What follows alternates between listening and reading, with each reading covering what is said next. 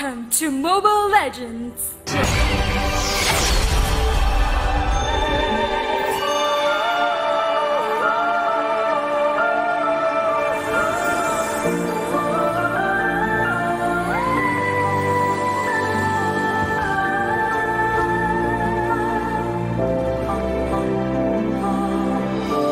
dengan persentase mungkin ya 55% Opung Wawan. Wow, aku suka di sini dari Popol Kupanya karena akan dimainkan oleh cewek yang berarti ini akan menjadi Gold Lane Popol Kupa yang baru, Marksman Popol Kupa. Jadi aku pengen melihat sesuatu yang baru dan jangan jadi aku di Onyx kali ini. Oke untuk Talia. Hmm, oke, aku di Bigetron. Oke, Bigetron kali ini langsung Iya. saja menuju ke game yang ketiga. Bigetron versus Onyx Esports. Kali ini Sang Raja Langit agak sedikit terketar-ketir oleh para pemain dari tim Bigetron. Dan bahkan kita bakal bisa melihat sendiri kalau Onyx harus benar-benar bersusah keras di game yang kedua. Tapi kita bakal reset itu semua karena kita bakal balik lagi ke Land of Dawn di game yang ketiga kali ini Talia. Iya, bakal kita lihat aja seperti apa dengan adanya Sans yang menggunakan Harley dan juga Popol Kupa. Seperti kata Om Wawa, Popol Kupa kali ini dari cewek menjadi Goldman. Akankah Popol dengan ada revamp yang baru kali ini lebih sakit lagi atau lebih efektif dijadikan sebagai gold lane karena kali ini sudah mulai mengincar aja ke arah Kaye dan juga Brans. Teman dengan adanya Keyboy dua lawan dua di arah bottom lane tapi nampaknya dari Brans hanya untuk mendorong wave minionnya aja dan Popol Kupa harusnya dia bisa memberhentikan pergerakan hero-hero mili seperti Nathan kayak omong. Iya, tapi Alright. Popol Kupa sendiri nggak punya defense mekanisme yang banyak Ranger Mas. Alright, tapi sayang sekali first blood tidak berhasil didapatkan di arah bottom lane. Brans bersama dengan seorang kaya agak harus pulang dulu. Struggle banget karena bisa kita bilang eh, mereka curang ya. Kenapa curang? Mereka berempat di bawah.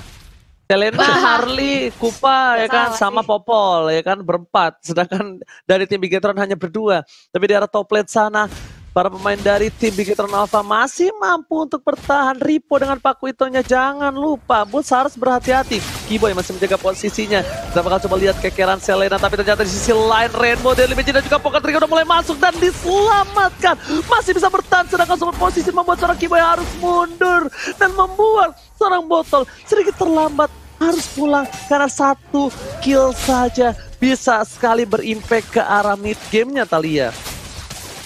Guys, ini bisa menjadi impact yang cukup besar apalagi kita sudah memasuki menit kedua dan belum ada terjadi first blood dari sisi Onyx Esports maupun Bigetron Alpha sedangkan Turtle-nya sudah hadir di Land of Dawn dan KYY ini mencoba untuk menjadi pas pam Brans.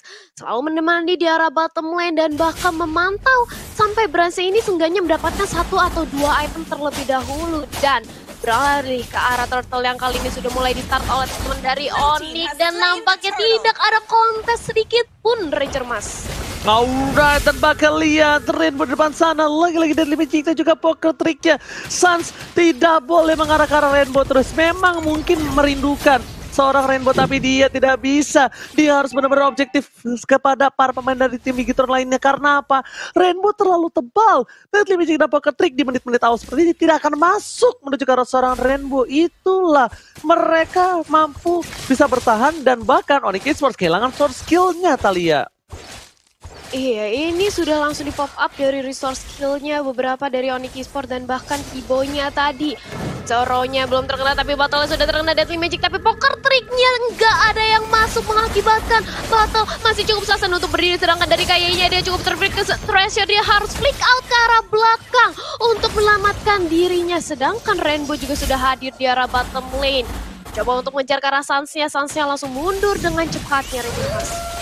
Alright, di sisi arah bottom lane udah mulai sakaratul maut dari seorang Bigetron Alpha. Lelenya kena kayak tumpang. Dan lihat, kali ini dua poin sudah diamankan oleh tim Onyx Esports. Botol is coming, satu poin tambahan. Dan cewek mau nggak mau harus gunakan flickernya untuk mundur. Ngelihat botol, bagaikan ngelihat malaikat penyambut nyawa. Tapi lihat ada Sans depan sana. Dan Limeji dan juga Poker Tree akankah bisa masuk karena Sans bakal menunggu. Dan ternyata Retribution Israel. Botol terkejut dan terheran-heran melihat ada arah rumput sana, Talia. Ya langsung di take over dari Little Wanderer ya begitu pula dengan adanya sisi top lane Yang kita bisa lihat, Boots cukup memberikan pressure ke arah Ripo dan Ripo HP-nya nggak full, dia harus mundur lagi setelah dia mengclear dari landing wave minion ya. Boy, dan juga Sewe di arah bottom lane mencoba untuk melakukan setup, abis Oronya terkonek tapi dari Kayeye masih terlalu sustain dan nggak bisa untuk langsung dilakukan commit di Kiatron Alpha. Tidak seperti di game yang kedua dan juga pertama mereka kali ini tidak begitu agresif. Oke, Turtle bakal coba dicolek dan lihat dari CCTV by Living by Mandiri. Ada bus depan sana, Sam jadi pilihan knockout strike telah dikeluarkan. Mau gak harus keluar dan bahkan lihat Turtle diamankan oleh seorang Rainbow. Red Rhino merit dingisnya. Bahkan seorang botol harus tumbang begitu saja. Dan di juga poker tree. Menunjukkan seorang bus masih dapat bertahan. Rainbow harus hilang. Kayak menjadi pilihan kedua dan bahkan tiga. Harus hilang dari Bigetron Alpha. 5 poin tambahan dari tim Onyx Esports. Talia, Talia, Talia. Kali ini kita lihat di top lane. Ripo seorang diri. Tak ada yang menemani. Knockout strike dikeluarkan. Menunjukkan seorang Ripo digigit oleh seorang kumpan. Dan Ripo masih ada pelingkar. Bot gak mau ngelepasin begitu aja. Ditumbangin. Hantaman benda tumbul kepala seorang Ripo. Membuat Ripo tersungkur lemas. Tak berdaya Talia. Apa yang terjadi dari sisi Bigetron Alpha? Mereka benar-benar dihajar banget dari top lane dan juga bottom lane dan bahkan kali ini Battle mencoba untuk langsung membalas dendam teman-teman yang bersama dengan Nadia Rainbow. Tapi apakah bisa kali ini diincar banget dari seorang ceweknya? Dinaikin langsung dan Battle menjadi eksekutornya. Tapi sayang sekali Boots kali ini gak bisa untuk didapatkan lagi satu poin pick off. Dan di arah bottom lane-nya satu lagi objektif tarat yang bisa diamankan oleh teman-teman dari Onyx Esport. Mengaca di game kita yang ketiga kali ini. Apa yang terjadi oleh Bigetron Alpha Umawa? Ya, di mana mereka harus bisa menahan burst damage untuk Onyx karena ini Onyx mereka sudah sangat cukup sekali dari segi pemberian burst damage di early dengan adanya Wind Talker untuk Popol Kupa, mungkin juga dengan Deadly Magic Ranger Mas. Alright, bakal ada tim fight tapi ternyata tidak.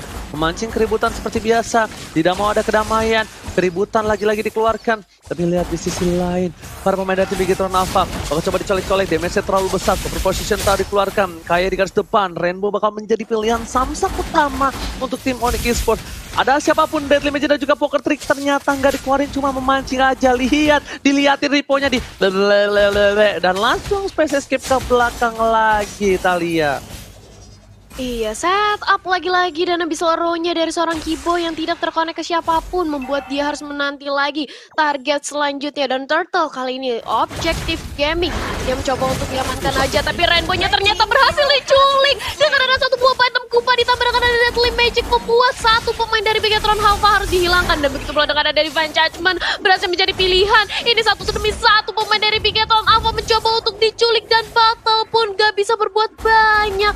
Battle hanya bisa untuk menahan lane di arah mid lane dan bahkan turtle objektif tentu saja ini bakal langsung jatuh di tangan Onyx Esport Ranger Mas. Yes, lagi-lagi kita lihat turtle-nya. 2700 eh, bahkan 3200 gold sudah menjadi perbedaan game yang lumayan kesenjangan kali ini terlihat. Dan bodyguard depan. Poker Trick kita keluarkan Drian ngepok sedikit demi sedikit mau nggak mau bahkan cewek di arah bottom lane bebas banget tim dapat dua objektif gaming. Dua dan bahkan tiga turret telah terkumpul untuk tim Onyx Esports di Getron Alpha. Kali ini harus berhati-hati Lele kena. Bakal coba dipasang satu bos soliter tapi ternyata gak jadi pos terlalu ramai berikutnya gunakan bottom jadi pilihan dan lihat dari dan juga Poker Trick menuju ke arah belakang hanya bisa membuat satu buah pertahanan. Tapi Keyboy Keyboy Keyboy melakukan sedikit asas remove kali ini. yang membuat dia harus tumbang Talia. Iya, Kibonya sudah berhasil dihilangkan, tapi sebentar lagi dia akan respon begitu pula dengan ada satu buah item kupa karena seorang Ripple dengan ada Deadly Magic Ripple nampaknya gak akan bisa bertahan. Dan langsung aja ditumbangkan di arah. Langsung datang bala tua dari Rainbow Kayera juga battle menyerang balik. Para pemain dari Onyx Esports dan gak bisa untuk dipaksakan memilih untuk lebih sabar lagi gak mau overcommit karena mereka juga sudah kehilangan seorang Ripple. Kali ini di arah mid lane-nya Ranger Mas. Alright, alright, alright. Dan bahkan Onyx Esports masih farming dari seorang cewek dari top lane sana mencoba di solo kill tapi ternyata masih bertahan. Masih bertahan dengan satu buah absorb damage yang diberikan Boto. Tidak berhasil melakukan solo kill dari top lane. Meanwhile dari bottom lane dari damage dan juga poker trick masih bisa ditahan begitu saja. Space escape kembali ke depan Sans. Berhati-hatilah, ingat. Dengan satu buah super position Sans bakal hilang. Satu tembakan saja bisa membuat Sans tersungkur Bahkan Bigetron Alpha hanya bisa untuk menahan di arah bottom lane. Para pemain dari tim Onyx Esports mereka mencoba untuk mencuri satu demi satu. Mulai memasuki menit ke-9. Dan di juga bukan udah mulai masuk. Tapi ternyata damage-nya masih bisa ditahan. Gak ada impact sama sekali untuk kali ini Opung Wawa. Iya, um, masih ada tim kali ya. Iya, ini dari seorang Rainbow-nya sudah berhasil langsung aja diamankan ke arah Onyx Esports. Satu lagi member sudah dihilangkan 4 lawan 5 sebentar lagi yang bakal kita lihat. Tapi nampaknya dari Onyx Esports mereka memilih untuk mengamankan ke arah Lordnya. Karena mereka tahu mereka udah menang jumlah otomatis dari Bigatron Alpha. Akan cukup sulit untuk melakukan kontes ke arah Bapak Lordnya dan Bapak Bus dan juga Kiva melakukan zoning. Sehingga Bigatron Alpha gak ada yang berani untuk mendekat ke arah Lordnya sama sekali Ranger Mas. Alright, satu Lord sudah diamankan dengan pasti. Item juga sudah terlihat. Kalau kita bisa bilang dengan adanya satu buah damage yang diberikan dari seorang cewek, lihat Demon Hunter Sword yang benar-benar bisa menggigit dan Mintalker membuat Kupa agak lebih agresif. Di sisi lain lihat Karinanya bahkan ngebuild Radian, Athena dan juga satu buah Brute Force. Hmm, menarik full, Opung full defense. Ya ini sama seperti High kemarin, full defense semuanya untuk Bigetron Alpha dan itulah yang dimaksimalkan oleh Onyx Esports sekarang. Mereka unggul. Lihat bagaimana burst damage dari Onyx Esports sendiri untuk menangani Bigetron Alpha. Untuk sekarang, Onyx Esports mau gak mau mereka harus team fight terus-terusan karena mereka lagi unggul. Jangan sampai item build, uh, build itemnya udah selesai. Oh, alright, bakal lihat di arah belakang sana Boots versus everybody. Satu poin telah diamankan Brave Factory mengganggu Tapi di sisi lain knockout strike mencatat seorang cewek Terlalu offside. Gak bisa ditahan Rainbow Munar sumbang Dua hilang Ditarik dipecah Rainbow pun menjadi pilihan ketiga. Di sisi lain Botol coba untuk bertahan. Masih bisa untuk mundur. Botol cuma punya retribution. Botol harus mundur. Lihat damage terlalu besar diberikan dari Limited Dan juga Poker telah keluar. Membuat Bigetron Alpha kocar kacir. Tapi di sisi lain Onyx Sport objektif Mereka mencoba untuk melakukan one strike push Menuju ke arah tengah. Francis coming Dan mencoba super position Tapi di sisi lain Brave Fighters yang gak mau dikeluarin oleh seorang Boots Dia tahan. Dia bener-bener gak mau dirahi. Nafsunya masih bisa dikontrol Untuk di mid Natalia. Iya masih bisa ditahan aja dari Bigatron Alpha karena semua pemainnya juga sudah respon kembali ke lane of down. Ini membuat adanya drag ke arah mid game lagi. Sedangkan Sans, dia Wow. beli Demon Hunter Sword. Om Wawa, Iya, di mana Sword untuk Sans tadi akan mencoba untuk memaksimalkan ya attack speed yang dimiliki setelah Wow. menggunakan poker trick. Dan karena memang cukup tebal-tebal pemain dari Bigetron Alpha, jadi itu akan menguras juga persentase HP dengan adanya pasif dari Demon Hunter Sword Talia. wah ini benar-benar kita bisa melihat adanya item yang cukup unik. Datang dari seorang Harley yang mana kali ini kita juga sudah melihat player gold by Live Mandiri cewek. Masih bisa mengungguli dengan adanya 9000 gold dan disusul oleh Brands. Akan seperti apa dari Bigetron Alpha untuk kembali mengejar ketertinggalan network yang bisa dibilang cukup jauh. Berbeda 6000 sekarang bahkan dan Rainbow terkena Oh. Deadly Magic tapi dia masih bisa ditahan dan bahkan masih bisa untuk dibantu oleh keberadaan KYY di heal dikasih movement speed untungnya Ranger Mas. Oh, apaan tuh damage sakit banget, gila. Kaget, terkejut, terheran-heran saya melihat damage yang diberikan oleh tim Bigetron Alpha. Tapi di sana, Lele bakal coba digunain. Mau dipaksakan ke inhibitor, ternyata tidak. Kupa nggak mampu bertahan. Harus heal kembali. Menunggu momentum bahkan di arah bottom lane boost. Mencoba untuk mendobrak dengan minion yang sudah di-clear. Tapi lihat, Kupa bandel digigit begitu saja. Turret di tengah harus ompong. Bigetron Alpha mereka belum mendapatkan turret sama sekali. Eh sudah mendapatkan satu turret di arah top lane. Sedangkan dari tim udah tujuh opung wawa. Iya, dengan atom build-nya ini full damage lawan full defense. Sekali lagi di sini dari Onyx mereka harus bisa nge-build up momentum ini karena mereka lagi unggul untuk damage-nya dan tinggal gaber saja Ranger Mas. Yes, bakal coba dipaksa. Tanpa buff-nya bakal coba dicolong tapi ternyata tidak. Rainbow di garis depan.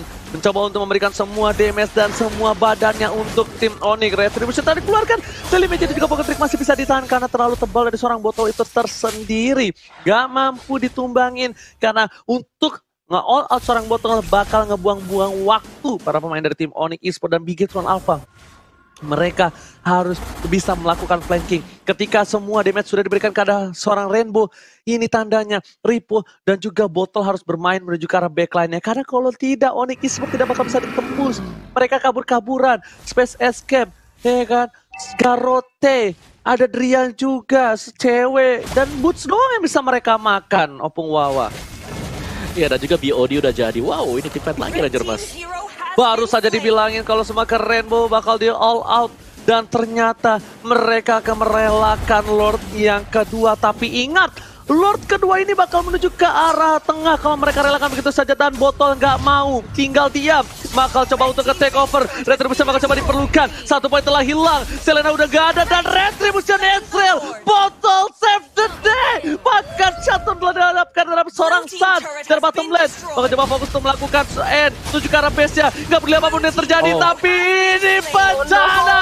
Pun mencoba untuk memberikan semua damage diberikan ditambah. Ada Lord kali ini pun hanya bisa diam. Ripo masih mau lebih. Dan Patila ini bencana untuk tim Onyx Esports Talia Menyisakan seorang Rian sendirian bersama dengan ada Kipo yang sebentar lagi akan respon ke line of down. Tapi lihat bagaimana 5-4 pemain dari Bigatron Alpha akan langsung menyerang One Strike Push ke arah mid lane Begitu pula dengan adanya Ripo di arah bottom lane yang ingin melakukan split push. Dan Bapak Lord jangan lupa sudah langsung datang di arah top lane-nya. Terkena dari satu buah Visual Row tapi masih bisa ditahan aja semua babat habis dari objektif Taratnya. Dan kali ini ini Bitter Tarat dari Onyx Esports terancam. Mencoba untuk langsung di buying time aja dari Onyx. Gak mau sampai base diceblokkan perlahan-lahan oleh Bigatron Alpha. Tapi apa yang dilakukan oleh Onyx Esports sekarang ini bahaya banget Ranger Mas. Mereka kehilangan momentum tadi. Bukan hanya mereka kehilangan momentum, tapi lihat mereka juga bakal dihancurin inhibitornya. Langsung ada tujuh turret diamankan juga oleh tim Bigetron Alpha. Pun garis depan, nggak memaksakan keadaan. Kayak terkena lele, tapi lihat inhibitornya udah ompong di arah top lane. Lord masih bertahan. Super minion di arah bottom lane bakal coba diamankan oleh seorang Sas. Tapi ternyata tiga lane yang berbeda. Lihat, lihat mereka semuanya mendorong secara bersama-sama. Kompak untuk coba dapetin satu buah inhibitor di tengah dan di bawah lagi bakal terreset tim fight-nya. Harusnya Bigetron Alpha harus reset karena kalau Bigetron Alpha memaksakan malah bisa Onyx Esports yang mengambil momentum seperti ini. Opung Wawa, sebuah pemaksaan di arah base dari tim Bigetron berbuah pahit untuk tim Onyx Esports. Ya aku bisa bilang itu tadi miskalkulasi dari Onyx Esports di mana mereka berharap banget tiga bisa nahan di Lordnya dan yang dua ini dapetin bottom inhibitor. Dan itu dapat tadi inhibitornya dapat tapi terlalu memaksakan dari dive in ke tengah dan ternyata Riponya ngebalikin keadaan dan kerugian untuk Onyx Esports.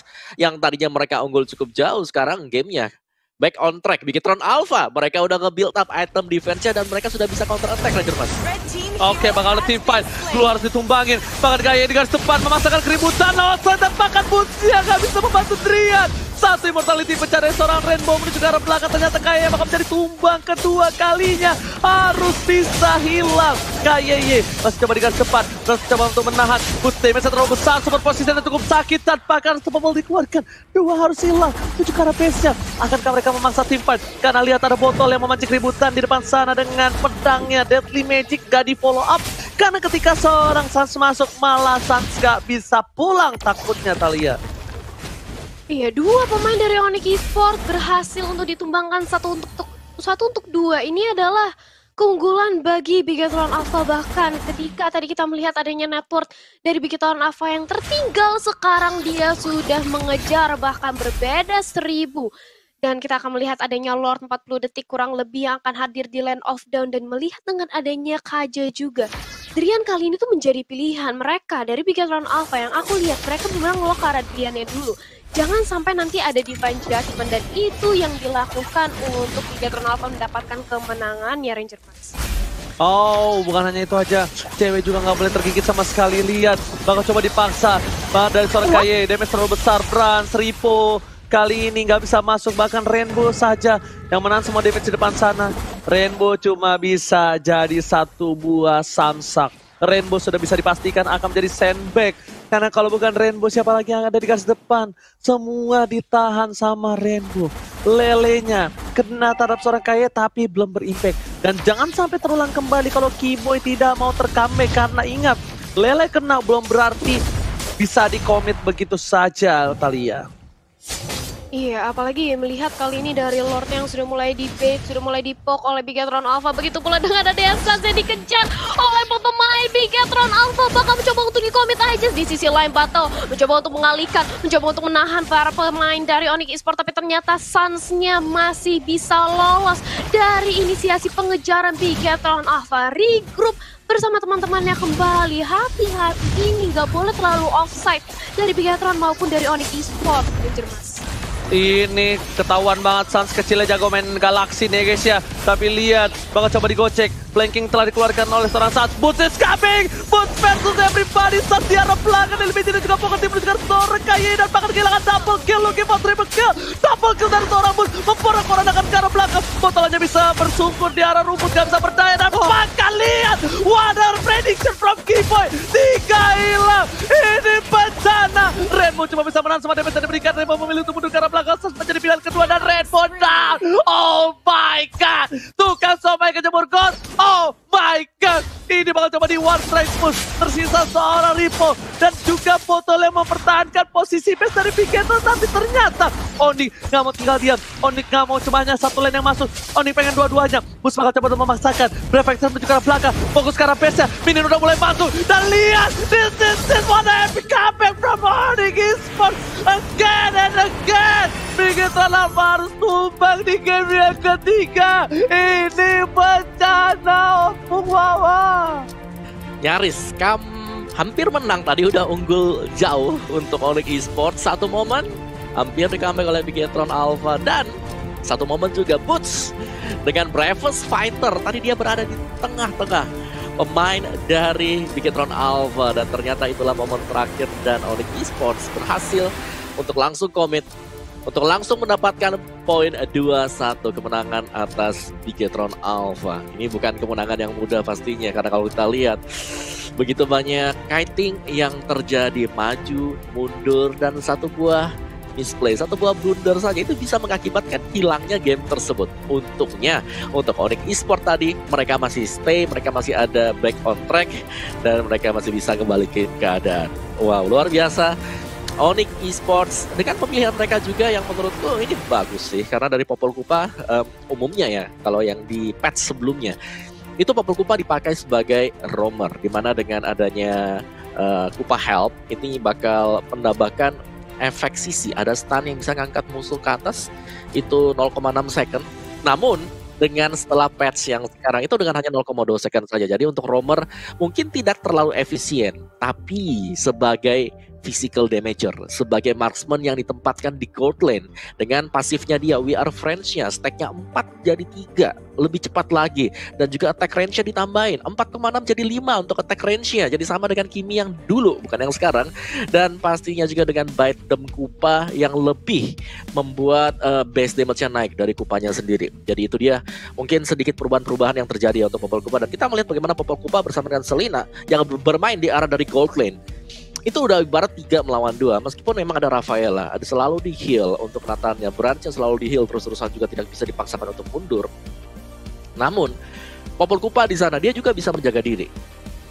Dengan adanya penempatan trap di dalam semak sisi kiri musuh akan dengan mudah terdeteksi dan ganking bakal lebih jarang terjadi untuk di arah dari gold lane-nya. Dan ini dia untuk itemization kita di mana 19 dan juga 11 dan ini sudah masuk ke dalam late game banget ya.